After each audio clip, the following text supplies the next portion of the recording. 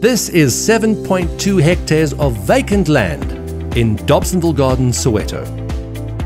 The subject site is a triangular shaped erf located in the residential township of Dobsonville Gardens in Soweto.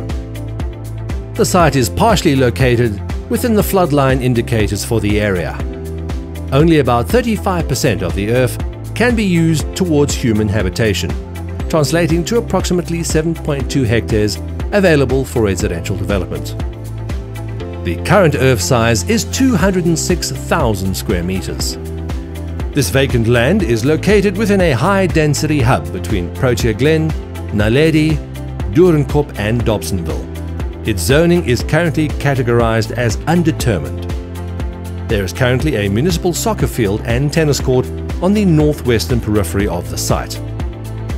The subject property adjoins both affordable and low-cost residential dwellings with an informal settlement nestled at its western border.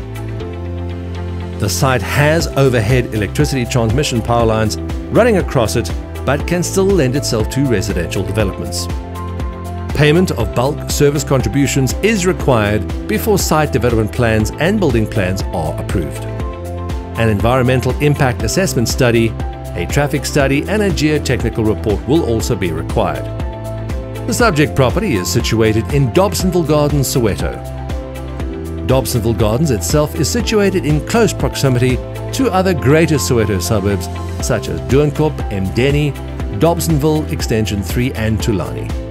The suburb is located approximately 25 kilometers away from the Johannesburg CBD and roughly 15 kilometers from Roodepoort.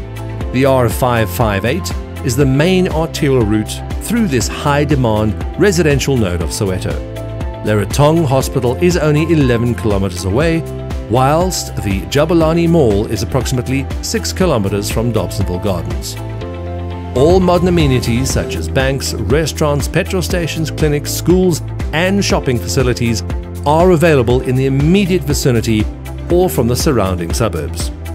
Other places of interest close to the suburb are the Hector Pieterson Primary School, Jabulani Mall, the Nasrec Showgrounds, Maponya Mall, Dobsonville Stadium, and the Apartheid Museum. This property will be auctioned off on the 21st of February at Summer Place in Hyde Park at 12 noon.